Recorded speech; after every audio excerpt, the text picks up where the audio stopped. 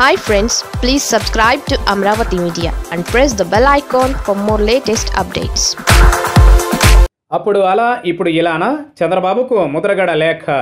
తొమ్మిదిన్నరేళ్ళు ఉమ్మడి రాష్ట్ర ముఖ్యమంత్రిగా పనిచేశా. పద్నాలుగేళ్ళు ప్రతిపక్ష నేతగా పనిచేశా. అధికారంలో ఉన్నప్పుడు టెక్నాలజీ తీసుకొచ్చా. మొబైల్స్ నేనే తీసుకొచ్చా. హైదరాబాద్లో సైబరాబాద్ను నేనే కట్టా. అమరావతిని అలాగే ప్రపంచ రాజధానిగా చేస్తా.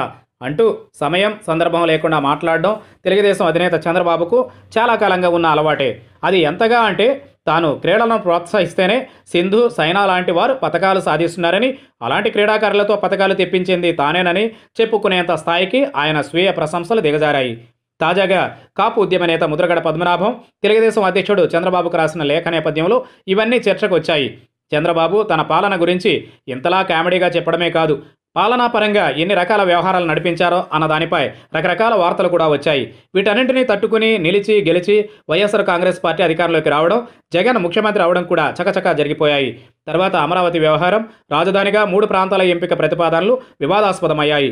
ఈ సందర్భాన్ని కూడా చంద్రబాబు రాజకీయం చేసినంతగా ఎవరూ చేయలేదంటే అతిశయోక్తి కానే కాదు. ఈ నేపథ్యంలో ఆయన చేసిన వ్యాఖ్యలు ఆరోపణలపై కాపు ఉద్యమ నేత ముద్రగడ పద్మనాభం తీవ్రంగా స్పందించారు. ఓ రకంగా చెప్పాలంటే తన ప్రశ్నలతో చంద్రబాబుకు బహిరంగ లేఖ రాసి ఇరుకనబెట్టారు చంద్రబాబుకు ముద్రగడ వేసిన కొన్ని ప్రశ్నలను ఆయన మాటల్లోనే గమనిస్తే జనం కూడా ఈ విషయాలను సీరియస్గానే ఆలోచిస్తారు. కాపు ఉద్యమం జరిగినప్పుడు నేతలను బయటకు రాకుండా హౌస్ అరెస్టులు చేయడాలు తర్వాత కాపు విద్యార్థులు బయటకు రాకుండా ఉండేందుకు చర్యలు పోరాటం చేసిన విద్యార్థులపై కేసులు పెట్టాల్సి వస్తుందని బెదిరింపులు ఆంగ్లేయుల పాలన కంటే ఎక్కువ అరాచకాలు చేయలేదా బాబుగారు? అంటూ ముద్రగాడు అడిగిన తీరుకు చంద్రబాబు ఏం చెప్తారో చూడాలి.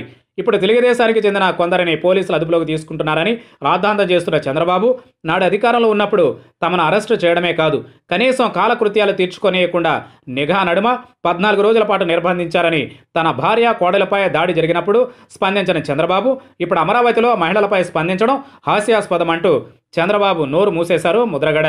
ఇవి మాత్రమే కాదు వెన్నుపోటు రాజకీయాలు చందాలు జోలె రాజకీయాల వంటి వాటిని ముద్రగడ ప్రస్తావించారు. నాడు తాము విరాళాలు లేకుండా సొంత డబ్బులతో పోరాటం చేశామని గుర్తు చేసుకున్నారు. ఇప్పుడు జోలె పట్టి డబ్బులు వసూలు చేస్తున్న చంద్రబాబును ఏమనాలని ప్రశ్నిస్తున్నారు.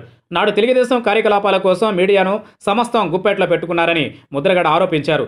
ఇప్పుడు కూడా అనుకూల మీడియాలో అమరావతి గురించి చెప్పిందే చెప్పి రాసిందే రాయించి మోసం చేస్తున్నారని ఆగ్రహం వ్యక్తం చేశారు. మొత్తంగా ఇన్నాళ్ళు గొంతు చెంచుకుంటూ ఊరు వాడా తిరిగేందుకు ప్రయత్నిస్తున్న చంద్రబాబు తనను రాజకీయంగా బజార్ను నిలబెట్టేలా ముద్రగడ వేసిన ప్రశ్నలకు ఎలాంటి సమాధానం ఇస్తారన్నది ప్రజల్లో చర్చనీయాంశంగా మారింది.